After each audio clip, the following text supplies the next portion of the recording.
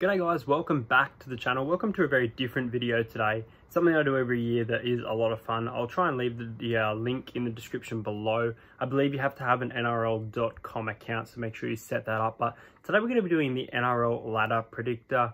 Um, so basically I'm going to do this predictor as the video is filmed. Um, I'll kind of stop the video around the halfway mark and interact with you guys uh, in regards to uh, the results for the NRL ladder predictor. Really interesting to uh, basically you can analyze every single round who will win.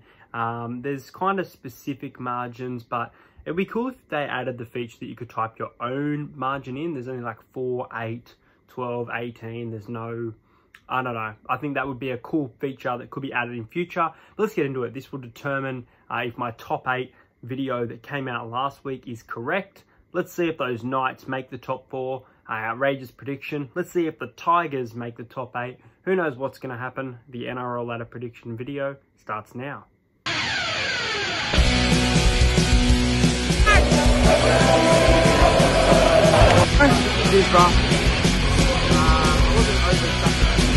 Subscribe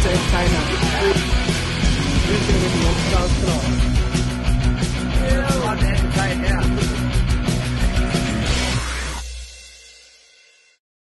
So guys, I'm currently on round uh, 12, which is technically considered by the end of round 12 at the halfway mark. Um, for some reason, it's a little bit glitchy. There's an error going on on my end. It's showing up as 12 and 3, which would suggest I'm at round 15, but I'm definitely at round 12 here. So I guess uh, I've got three losses. So I guess currently I've got the Roosters on top of the season, which is my minor premiership prediction anyway. Uh, technically, I've got them going 9 and 3 at this point, so 3 losses to the Roosters compared to 9 wins. I've got the Melbourne Storm underneath them. Now, I've also got the Melbourne Storm at 9 and 3. Obviously, on my screen it says 12 and 3, which I don't know why. Uh, so both Roosters and Storm, very classy sides up the top in the regular season. Uh, at the halfway mark, no real surprise there. Uh, now you've got my Parramatta Eels, so 12 rounds. I've got them, well, this is saying 11 and 4, so four losses and uh, eight wins, technically. Yeah. So eight wins compared to four losses. That's an okay ratio. Still not the best. I've got Parramatta at this stage in third. Fourth, a team that everyone is really hyped up about that I think is a little bit overrated. Uh, it's got the Bunnies. Now, I've got the Bunnies at the exact same as the Eels at 8 and 4, coming by around 12. So eight and four for third and fourth. I guess maybe it's the for and against for the Eels that's on front. In fifth, a team I'm predicting to make the top four. Outrageous prediction, I know. I've got the Newcastle Knights. Now I've got them at five losses. So uh, at this stage, they are currently at seven wins and five losses. Not the greatest ratio, but they're still finding themselves uh, in the eight at this point of the season. In sixth place, I've got the Penrith Panthers. I've also got them at five losses. So five losses to the Penrith Panthers, seven wins coming into round 12. Uh, so coming into round 13, they currently sit in sixth position on the NRL ladder predictor at the halfway point. I've then got a bit of a shock one here, and I've got with six losses and six wins, and that is the North Queensland Cowboys. I just think this team have actually got quite a good draw looking at their season ahead. They're capable of winning some games. Um, I think they can they can. Well, I don't know. I don't know. Can they sneak into the eight? Based on this, they're currently sitting on seventh at the halfway point of the season. Whether they can retain that is up to them. Now, I've also got underneath them in the final spot in the eight, the Canberra Raiders. Now, they are currently six and six as well as the Cowboy.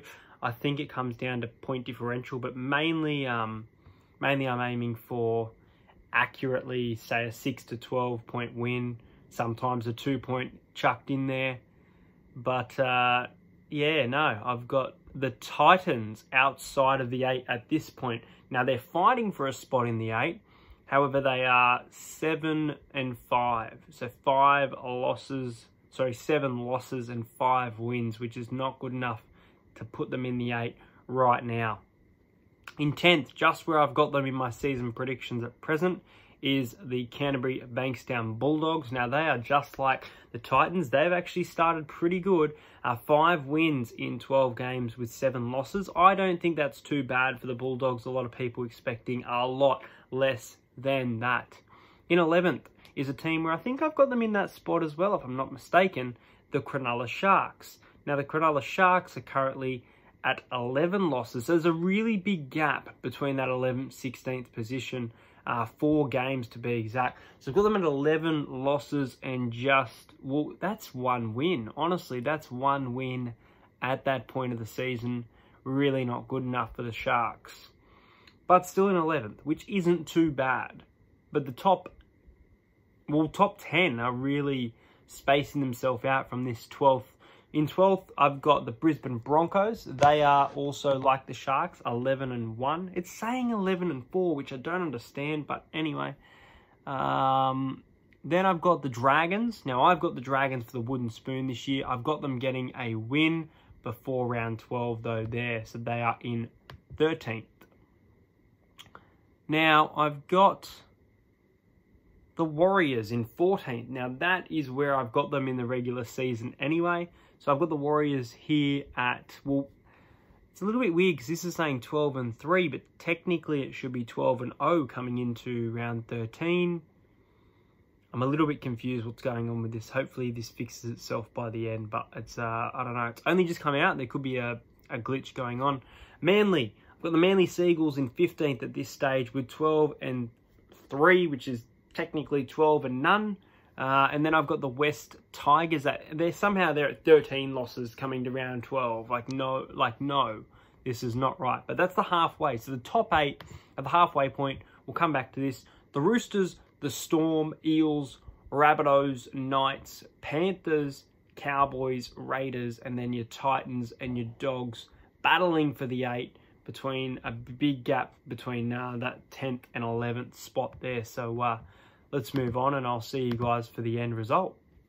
End of the NRL ladder predictor here at the end of round 25 and uh, very interesting.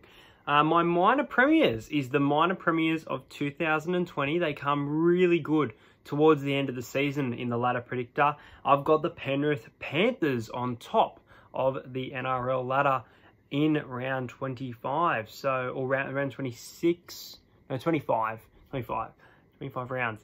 Uh, yeah, this surprised me. They obviously went from six at the halfway point to being right at the top, really hitting some form um, in that midpoint of the season, dropping seven games, so 18 wins to their name. Not bad there. Now, you've got with eight losses, which would mean they have 17 wins, is the Melbourne Storm in second. Now, I've got the Melbourne Storm taking out the title at this stage, and for them to be in second, they're definitely in the booster seat just like last year, that top two. So really interesting to see that. Our third, my minor premiership prediction for 2021, the Sydney Roosters. Now, they've dropped nine games, which means they have won 16. So 16 wins, nine losses. I could see that from the Roosters. Their halves are going to be very different this year. I still think, though, their attack is going to be really good. They've got a lot of class in their side, and I feel like they've got too many points in them to not be in that top four. In fourth, surprisingly, is a team I've got in sixth, and that is these boys. It's the Parramatta Eel. Now, I've got the Parramatta Eels dropping 10 games, which would mean 20, uh, sorry, 15 wins and 10 losses. Look, I see us dropping more than that, but I could see that as a fair ratio. If this team has turned up like they have the last two years in the regular season, I could see this being um, an accurate guess. Now, next up also on the same as us with 15 and 10, a lot of people predicting them to take out the title, is the South Sydney Rabbitohs. So just outside the top four for mine. I did have them in seventh for my predictions. They're in fifth here. Not a bad spot for them to pounce and attack if they can make it through week one of the finals there. In six, you've got the Newcastle Knights. Now, just like the Eels and the Rabbits, I've got them at 10 losses and 15 wins.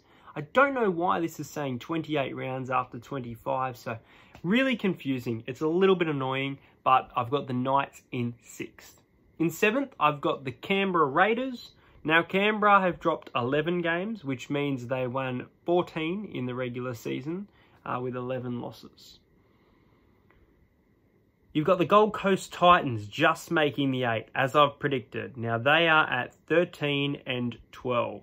So they actually do have more losses than wins, but there's a bit of a gap there between 7th and 8th, which we've seen in 2000 and I believe it was 18, um, maybe 2019, but I think it was 2018. It was a while back now, and that is looking similar situation. Now, two teams were battling the Titans to make the top eight. The North Queensland Cowboys were there almost all season. The Cowboys, if I am right, the Cowboys are fighting hard for the top eight this year based on their draw. They've got a really good draw, guy. I've got the Cowboy dropping 14 games and winning 11, which is putting them in ninth, unfortunately. The Bulldogs. Now, I had the Bulldogs in 10th, and they are just like the Cowboys with 11 wins and 14 losses. I've got them in 10th this season, so that could be a good prediction. Now, I mentioned how uh, there was a gap between 10th and 11. It closed up a little bit, but still not great. I have the Cronulla Sharks in 11th. I don't have the Sharks making the bottom four. I think they're too good of a team with too good of a roster and a lot of X factor with Shaun Johnson in their side. I've got them at 18 losses and 7 wins at this point. I've got the Broncos at the same with 18 wins and 7 losses in 12th position. Moving on to, ah, we've lost our spot. No, we've lost our spot. That is not nice. We were up to the Broncos and the... Oh, here we go. So the Broncos in 12th with uh, 18 and 7. Now I've got the Warriors with 5 wins and 20 losses. Very unfortunate there. I had the Warriors in 14th. In my ladder predictor, they're in 13th. I've got Manly in 14th. They're very, you're going to struggle without Tom Trbojevic. There's no doubt there. I've got them winning five games and losing 20. Crazy stats there.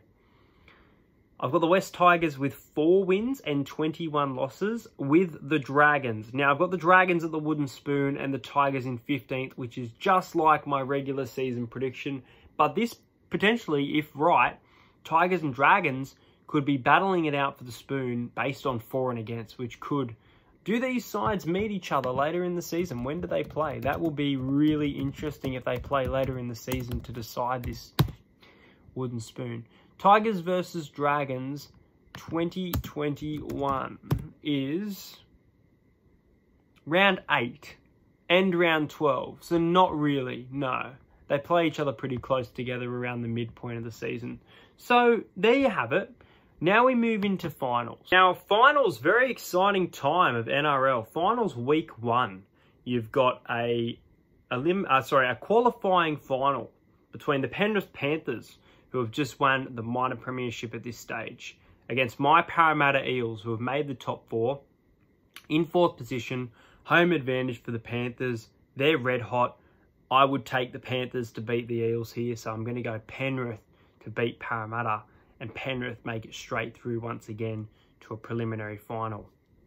And then you've got the South Sydney Rabbitohs, which would probably be at ANZ Stadium, or Stadium Australia as they're calling it now, against the Gold Coast Titans. Now, I think the Gold Coast Titans have had a good year. They've made the eight, they've snuck in there, but I think that their finals experience is not enough against the South Sydney Rabbitoh and the hype around the Rabbitohs if they do get into finals, which I'm sure they will, this premiership talk is just going to boost and boost. So they're going to be fired up.